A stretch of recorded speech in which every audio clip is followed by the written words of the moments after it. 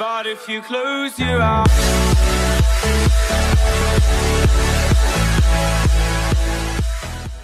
hyökkäyksen paikkaa. Kalle Multanen on nyt vastakkain. Lähteekö laukomaan? Lähtee, mutta... Pääsee.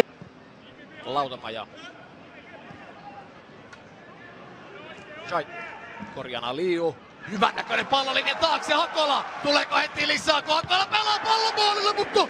Sellaisen maalin lukemiin täällä yritä ja nimenomaan vierasjoukkoja on aika usein tällä maalisarakkeen avannut. Robert Iskille peltänyt pistokkaat sinne linjan taakse, hyvin kuitenkin se. Muut maalivahdit sitten Jusa Impio ja Mikko Vilmonen, molemmat pelanneet kaksi ottelua. Kävin äh, maalipuiden välissä tällä kanssa. Voimalaiset pyrkivät ilmeisesti aika pitkälti vain kelloa pelaamaan pois. Aliu. Hyvä laidan vaihto, siellä löytyy Salami. Nyt se on hyvin sijoittunut ja ei siinä mitään vaaratilannetta. Savolainen uudelleen.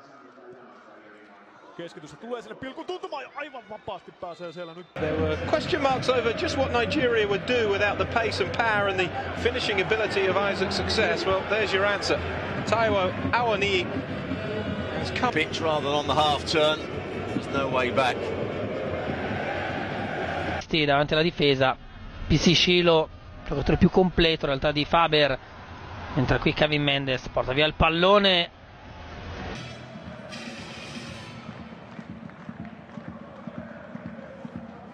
pallokorkeuksiin ja Abu Bakar on. on nyt Hakola oikealle laidalle. Hakola hakee hyvin Abu Bakarin, joka nopeasti kehotti keskustaa, mutta tämä... Nyt on löytävän Poutiainen ja sitten löytyy täysin vapaana Abu Bakar ja hän nousee, pakki päätyy asti, kääntää etutolpalle ja siellä se pyörii laitalaismaalilla ja viimeisen...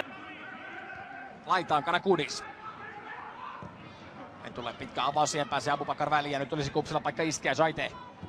Piere. Paananen sen pudottaa näppärästi alas ja lähtee hakemaan sieltä Abubakarin taakse. Selustaa nopea pitkää syöttöä siellä Hostikka Abubakar taistelee ja... Liikka keskelle, mutta hyvin puolustaa Hakkola häntä. Kari. Tilanne